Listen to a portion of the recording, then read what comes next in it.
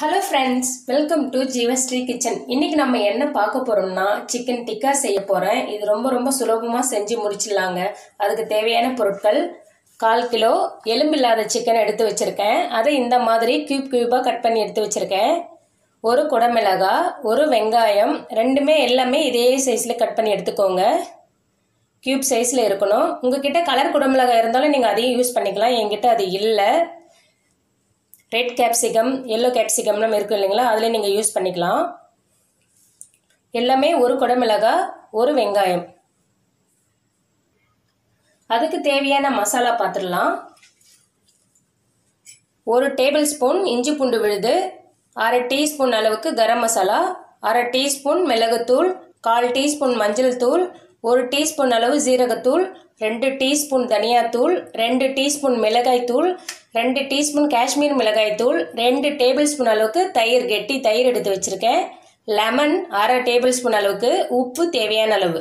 இவ்வளோ தான் இதுக்கு தேவையான பொருட்கள். இப்போ ஈஸியாக செஞ்சு முடிச்சிடலாம். இப்போ எப்படி பண்ணுறதுன்னு பார்க்கலாம். உள்ள ரெண்டு டேபிள் ஸ்பூன் தயிர். நான் இஞ்சி பூண்டு விழுது போட்டுட்டேன். மிளகாய்த்தூள் காஷ்மீர் மிளகாய்த்தூள் கரம் மசாலா மிளகுத்தூள் மஞ்சள் தூள்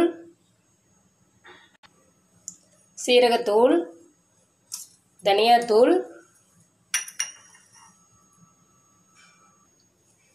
எலுமிச்சம்பழ சாறு.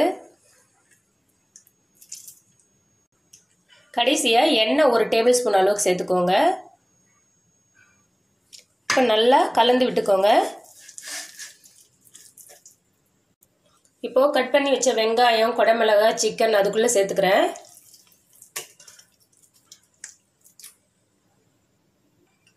இப்போ இது கூடவே தேவையான அளவு உப்பு சேர்த்துக்கிறேன். இப்போ நல்லா கலந்து விட்டுக்கோங்க. நான் எல்லாமே நல்லா கலந்துட்டேன். இப்போ இதை மூடி வச்சிடலாம். இதை நீங்கள் எந்த அளவுக்கு மேரினேஷன் பண்ணி வைக்கிறீங்களோ அந்த அளவுக்கு ரொம்ப ரொம்ப டேஸ்ட்டு சூப்பராக இருக்கும். நீங்கள் நாளைக்கு செய்ய போகிறீங்கன்னா இன்றைக்கே செஞ்சு வச்சுடுங்க. ஃப்ரிட்ஜில் வச்சுடுங்க. எனக்கு அவ்வளோ நேரம்லாம் டைம் இல்லை. உடனே செய்யணும்னு நீங்கள் நினச்சிங்கன்னா குறைஞ்சது ஒரு ஒரு மணி நேரமாவது ஊறட்டும். இப்போ இதை மூடி வச்சிடலாம். இதை இப்போ ஃப்ரிட்ஜில் இதை வச்சிட போகிறேன் அதுக்கப்புறம் எப்படி செய்கிறதுன்னு பார்க்கலாம். நான் இப்போ ஃப்ரிட்ஜிலேருந்து வெளியே எடுத்துட்டேன். இங்கே பாருங்க. நல்லா ஊறி வந்திருக்கு. நான் வந்து இன்றைக்கி இந்த மாதிரி உட்டன் ஸ்கீவரில் தான் செய்ய போகிறேன் உங்ககிட்ட ஸ்டீல் இல்லைன்னா இரும்பு இருந்தாலும் நீங்கள் அதில் கூட யூஸ் பண்ணிக்கலாம். இப்போ இதில் எல்லாமே சொருகிடலாம். இப்போ மறுபடியும் ஒரு தடவை நல்லா கலந்து விட்டுக்கோங்க. இப்போது ஒரு பீஸ் கறி எடுத்துக்கோங்க. வெங்காயம் குடமிளகா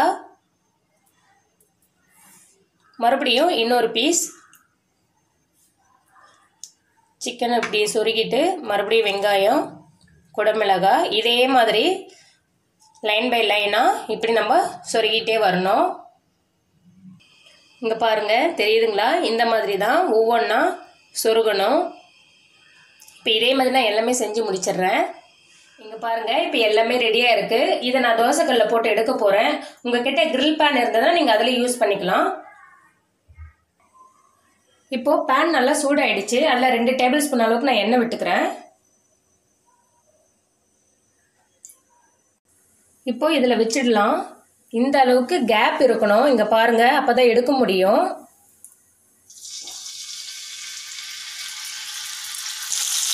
எல்லாமே வச்சுட்டேன். ஒரே பக்கமே வேக விடாதீங்க. திருப்பி திருப்பி போட்டு வேக விடுங்க. அப்போ தான் சமமாக வேகும்.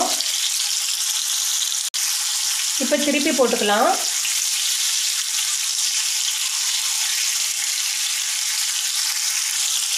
இதே சேம் மசாலா தான் நீங்கள் பன்னீருக்கும் செய்யலாம். மஷ்ரூமுக்கும் செய்யலாம். சூப்பராக இருக்கும். இதே மாதிரி செஞ்சு பாருங்கள்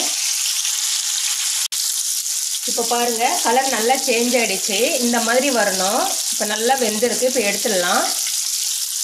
அவ்வளோதான் சூப்பரான சிக்கன் டிக்கா ரெடி ஆகிடுச்சு கண்டிப்பாக நீங்கள் செஞ்சு பாருங்கள் டேஸ்ட் ரொம்ப சூப்பராக இருக்குது ஈஸியாக நம்ம இதை வீட்டிலேயே செஞ்சிடலாம். பாருங்கள் எப்படி இருக்குன்னு. இந்த வீடியோ உங்களுக்கு பிடிச்சிருந்தா லைக் பண்ணுங்க ஷேர் பண்ணுங்கள் கமெண்ட் பண்ணுங்க. மறக்காம சப்ஸ்கிரைப் பண்ணுங்க. அப்படியே பக்கத்தில் உள்ள பெல் பட்டனை கிளிக் பண்ணுங்க. உங்களுக்கு இன்னொரு வீடியோவில் இன்னொரு இன்ட்ரெஸ்ட் நான் ரெசிபியோட மீட் பண்ணுறேன் பாய்